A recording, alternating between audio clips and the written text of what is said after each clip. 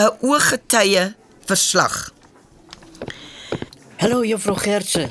Liewe hemel, Chris, wat gaan aan? Jou oë is so groot so spierings. Jy gooi amper die deur uit sy kusyne uit. Ja, wat 'n sien. Ek bedoel, wat 'n gebeurtenis. Ek het nou my half dood geskrik. Nee, dit kan ek sien. Jy lyk asof jy 'n spook op 'n fiets gesien het. Maar soos 'n spook in 'n taxi, juffrou. Ah! Ek wil graag alles hoor, Chris. Maar laat ek net gou eers die program behoorlik aankondig. Sê my net eers, is jy darm oukei? Okay? Ja, juffrou. Dankie.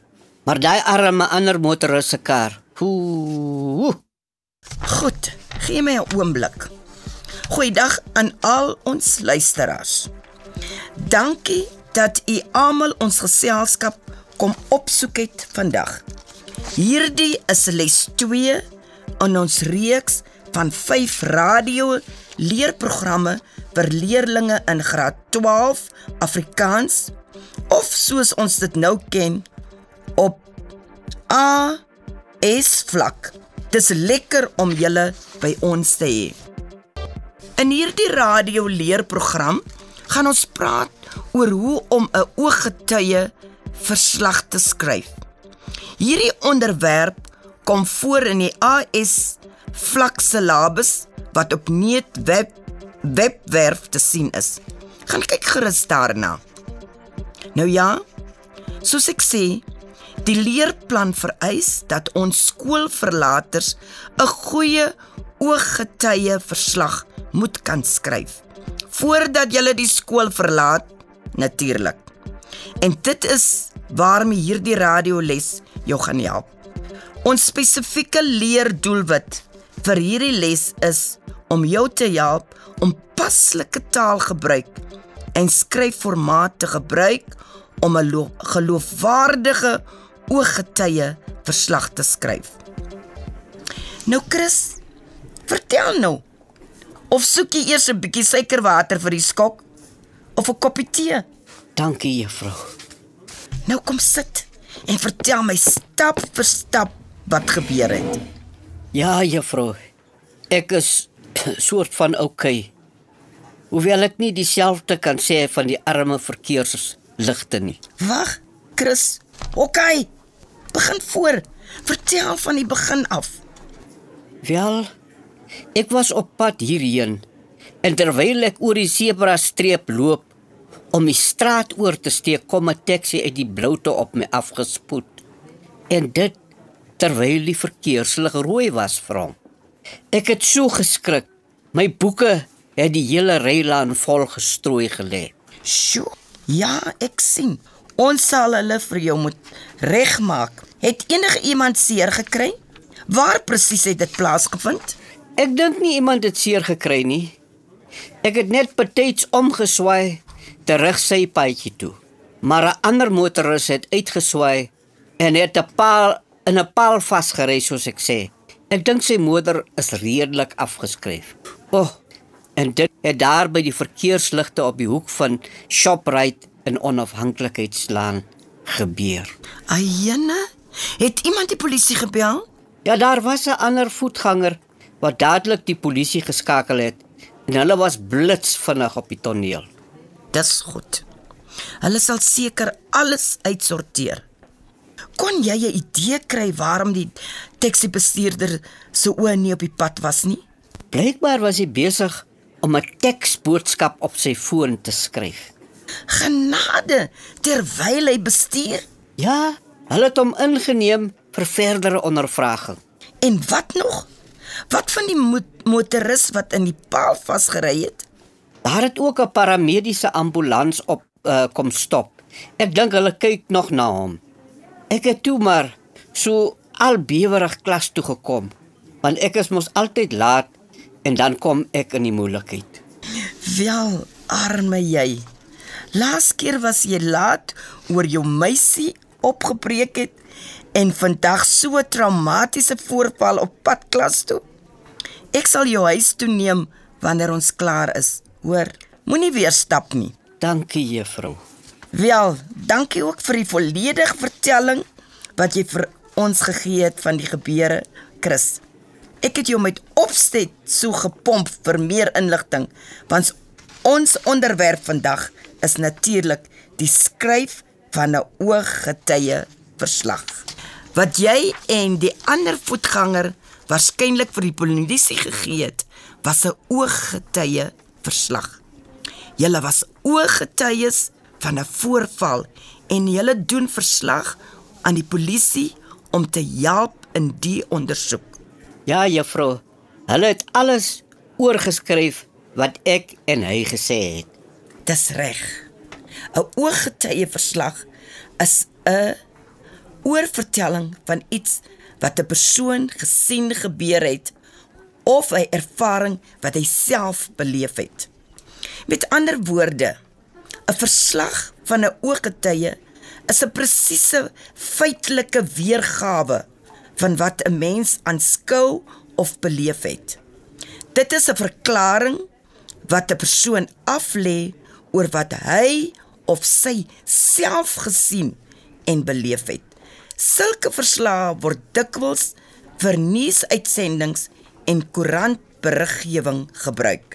Ons kan maar seker wees hierdie storie van die taxi wat in die verkeerslig vasgery het, sal in môre se koerant wees. Baie mense was geïnteresseerd en het daar saam gedrom.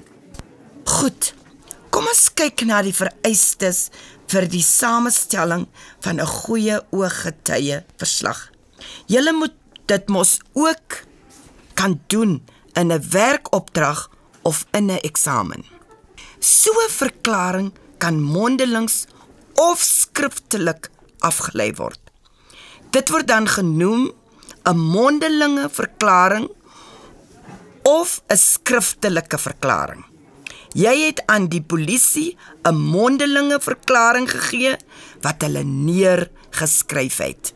As 'n persoon miskien by sy werk uitgevang is dat hy iets verkeerds gedoen het, sal so 'n persoon gewoonlik gevra word om 'n skriftelike verklaring af te lê oor sy aandeel in dit wat gebeur het. Vandag gaan ons spesifiek konsentreer op die skryf van 'n ooggetuie verslag.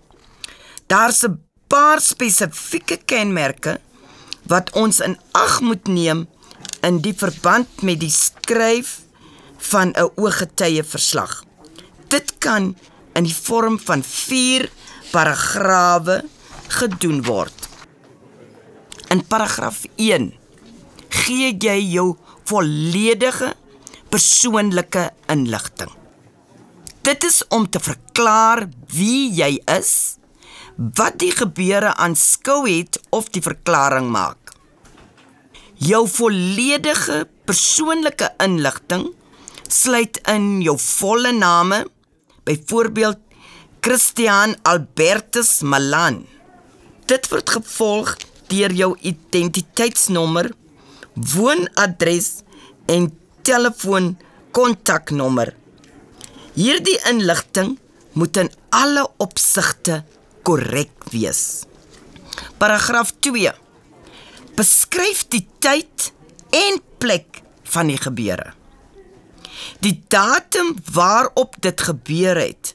Dit wil sê watter dag van die week en die spesifieke datum.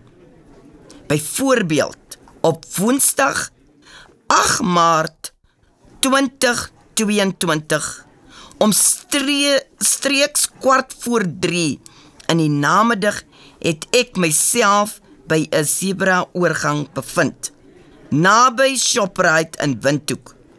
En ek het in 'n rigting van suid na noord gestap. So jy sê wanneer jy waar was net voordat dit gebeur het. In paragraaf 3 brei jy uit in besonderhede oor wat volgens jou aanleiding gegee het tot die gebeure. Hoe het dit begin? Wat het jy eers opgemerk of gehoor en so aan? Vertel nou wat presies gebeur het. Wie was betrokke? Wat het gebeur? Wat was die gevolge sover jy kon sien? Jy gee die inligting so spesifiek as moontlik, soos jy kan onthou. Moet niks noem waarvan jy nie absoluut seker is nie. Want onthou, hierdie is 'n wetlike dokument wat in die hof gebruik kan word. In paragraaf 4 gee jy 'n samevatting of gevolgtrekking van die gebeure. Hoe dit jou persoonlik raak en wat volgende moet gebeur. Jy sal miskien noem waarom jy die verklaring gemaak het, wat jy wil hê daarin gedoen moet word. En dan is jou ooggetuie verslag klaar. Sjoe, dis nogal moeilik. Maar dit help dat mens dit net in 4 paragrawe kan skryf. Solank mens onthou wat om in elkeen van die 4 paragrawe te skryf. Jy's reg, Chris. O ja. Daar is iets wat ek nog nie genoem het nie. Heel bo-aan 'n polisieverklaring sal die datum verskyn. Dit begin met so en so verklaar onder eed. Dit beteken jy beloof op jou eer dat jy die waarheid skryf op hierdie datum en so voort. Die ooggetuie verslag word onderteken deur jouself en as dit 'n polisieverklaring is, sal die amptenaar wat jou die verklaring laat aflê ook daarby teken en 'n datumstempel afdruk. Sjoe, dis heavy, nee juffrou. Heavy is 'n Engelse woord en jy moet nie jou taal vermeng nie. Maar ja, dis ernstig. Soos ek sê, 'n mens moet versigtig wees wat jy in 'n ooggetuie verslag skryf of sê, want dit kan 'n hofdokument word. Laastens, Chris, is daar nog 'n paar feite om in gedagte te hou by die skryf van 'n ooggetuie verslag. Skryf neer, né? Nee?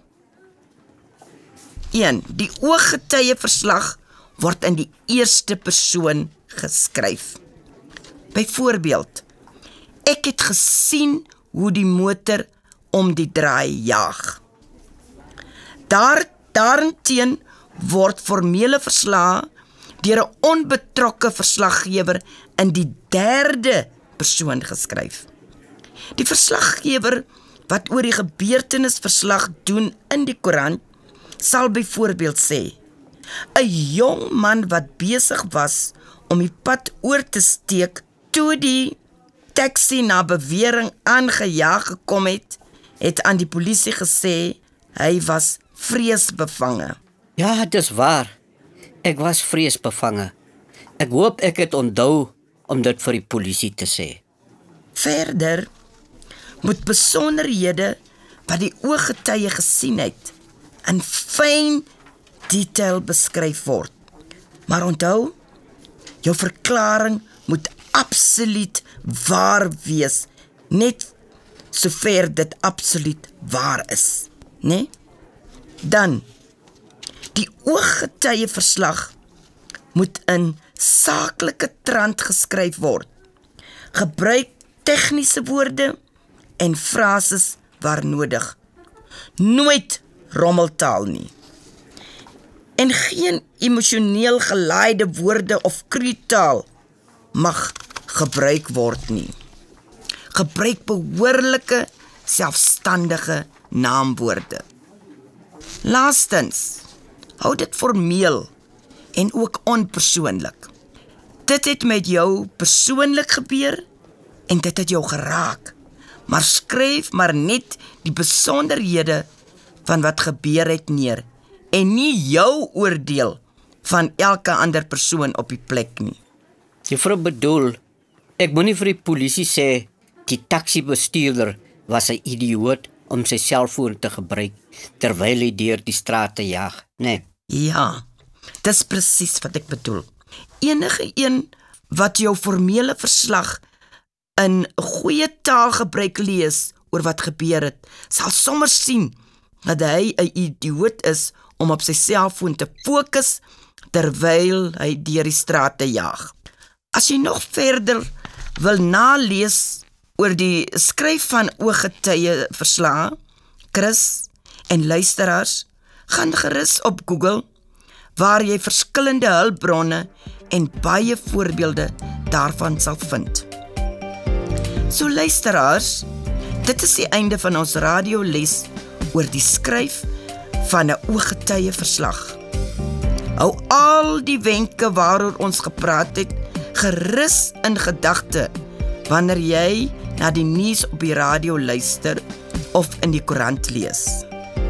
Soos altyd was dit baie lekker om in hierdie les met julle te gesels en ek hoop julle dit ook geniet. Hou die verkeer dop. Totsiens. Chris, is jy reg? Voel jy sterk? Kom ek neem jou huis toe. Jou ma weet seker nog nie eens waar deur jy alles vandag is nie. Nee, juffrou. Kom ons gaan. This lesson is produced by NAMCOL with funding from the Ministry of Education, Arts and Culture.